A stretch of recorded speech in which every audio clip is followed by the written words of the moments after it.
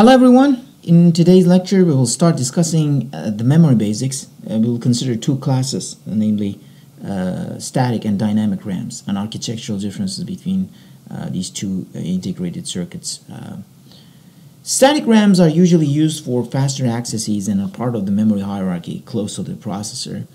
However, they're expensive to manufacture. Dynamic D, uh, RAMs uh, or dynamic RAM cells, on the other hand, are manufactured using simpler and fewer components such as single capacitor and transistor.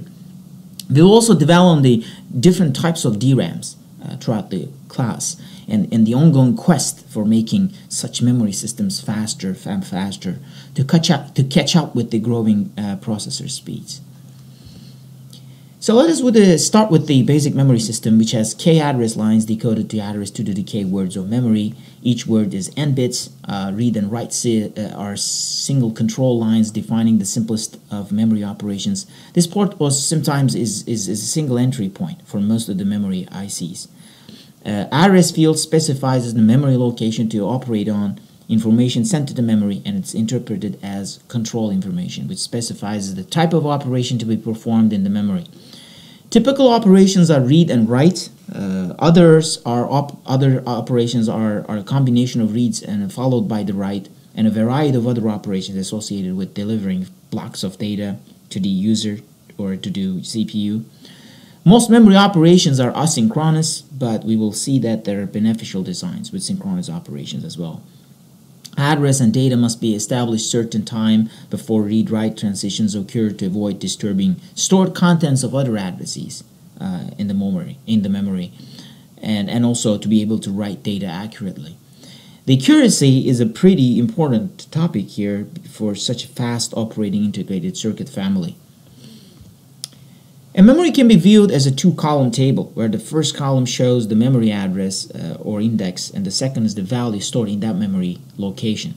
Each table entry, or the row in this table, is called a memory word. Uh, size of the memory is given by the number of memory locations multiplied by the word size.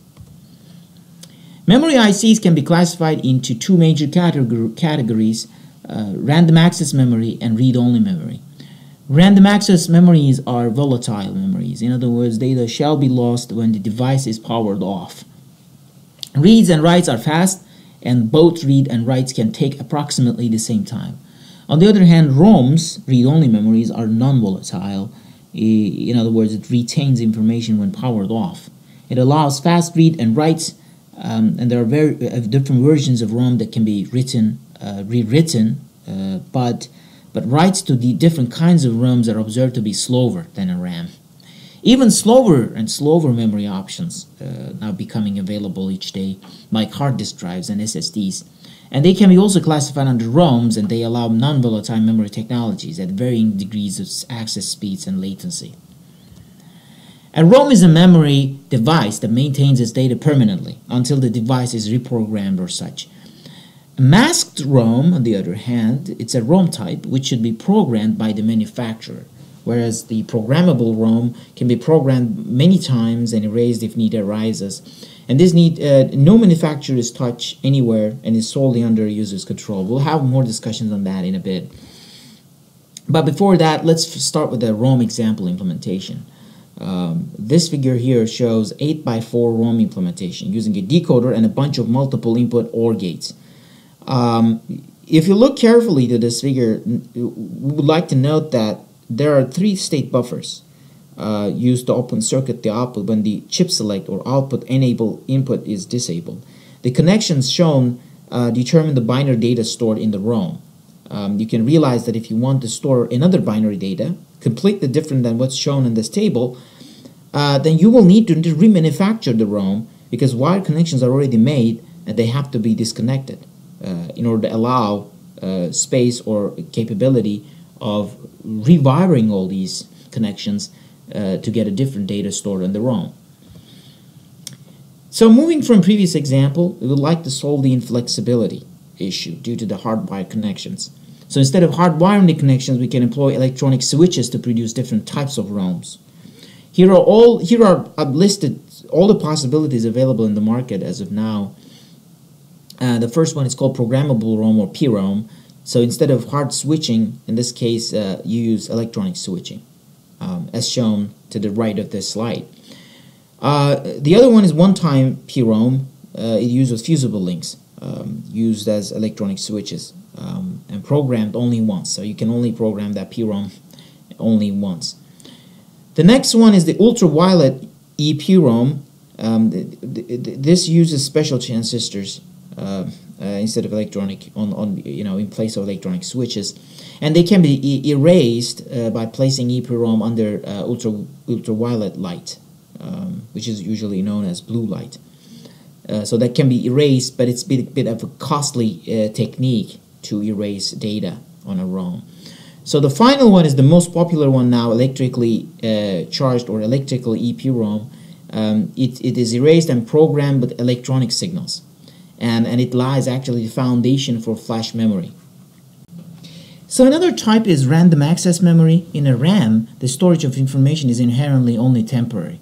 As a consequence, the information uh, must be periodically refreshed to make the behavior or the functionality look like the static RAM storage. The need for refresh is primary difference between the DRAM and SRAM.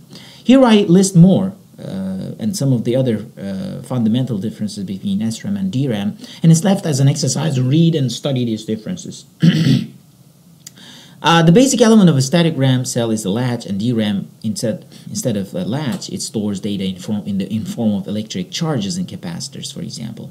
So which makes SRAM is fast and DRAM slow, and SRAM needs more space on the semiconductor chip, and DRAM, uh, as you might guess, that SRAM uses more transistors, and DRAM needs less space on the semiconductor because it only the single bit cell only takes about uh, one capacitor and one transistor on a on a silicon wafer. SRAM is more expensive, therefore, than DRAM, and it consumes more power, uh, and it consumes all the time. And DRAM consumes power only when it's when it's accessed. Uh, finally, SRAM is used as a cache. We will cover the caches later. Um, and DRAM is used as the main memory. The cache is, is something, some memory architecture that's close to the CPU and is faster. And main memory is basically uh, a bit further away from CPU, uh, but it's slower. Static RAM cell consists of an SR, SR latch and four AND gates. Select input is used to enable the latch operation, and if B and B prime are used in ordinary sense, in other words, B is 0 and B prime is 1, or vice versa, we can use write functionality to fill the cell with the data. If both B and B prime are 0, then it can be used to output the stored value, uh, i.e. the read functionality can be enabled. And there's also a table here for convenience uh, to uh, convince yourself that uh, how this bit cell is, is, is, is functioning, functioning. Bit cells are combined to make up a single bit slice. Uh, if we put together 2 to the n bit, slice, uh, bit cells in a shown configuration, we can get 2 to the n minus 1 word select for each cell. This would select a particular cell.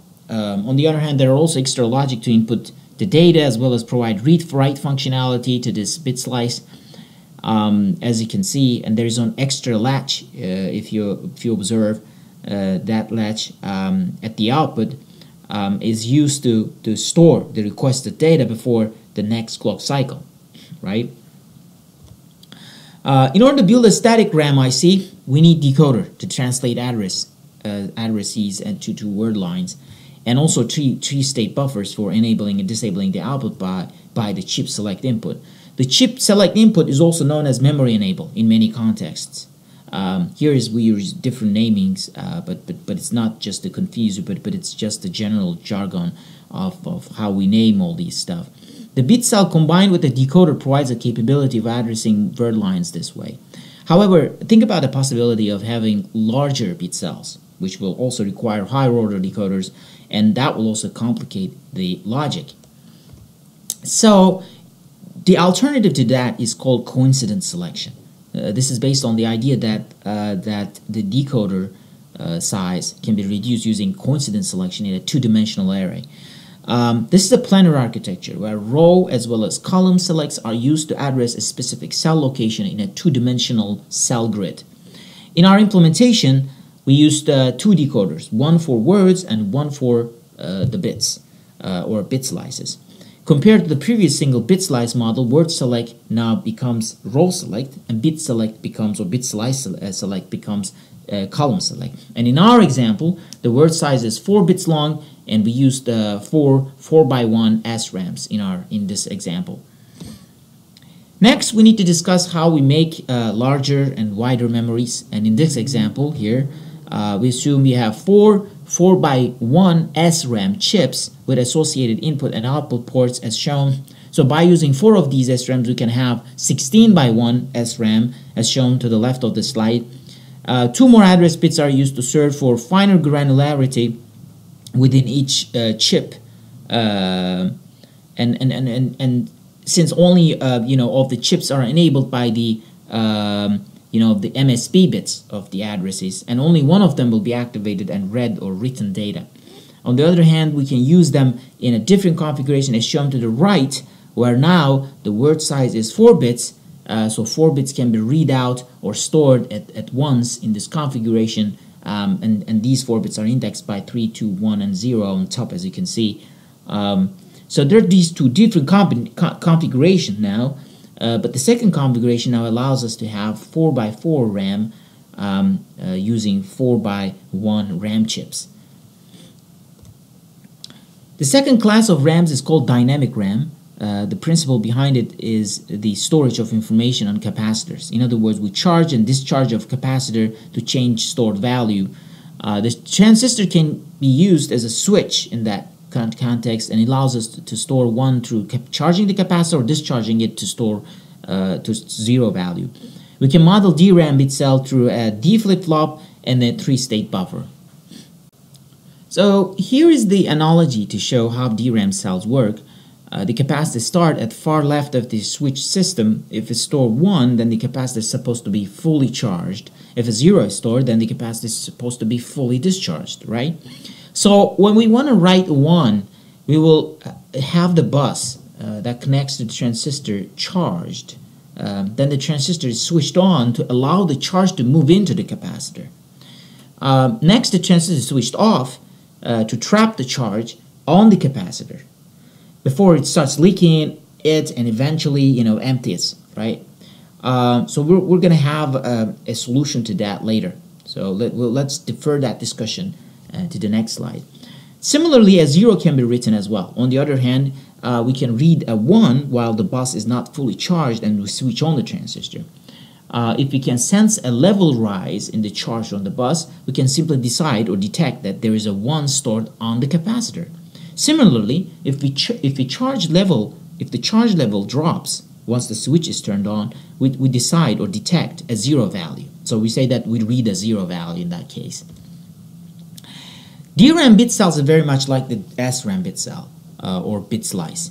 However, for cost point of view, they're, they're quite different. Since SRAM uses latches for storing bits, DRAM uses approximately 3x less transistors compared to SRAM. For large memory structures or architectures, this makes these two technologies significantly different in terms of cost.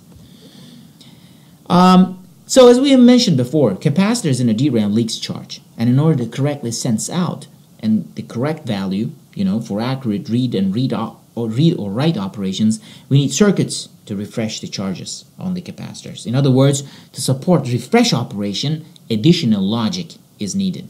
Here is the logic block diagram shown to support all the operations needed to fully operate DRAM cells accurately. The refresh is usually initiated by external control using row address strobe and the column address strobe. These are abbreviated as RAS or CAS, single signals. The external logic may be DRAM controller or other logic external to the DRAM chip. Uh, refresh periods are adjusted based on the timing constant of the capacitive, capacitive circuit. Um, from your circuits uh, theory background, uh, you, you probably have some idea about what timing constant is.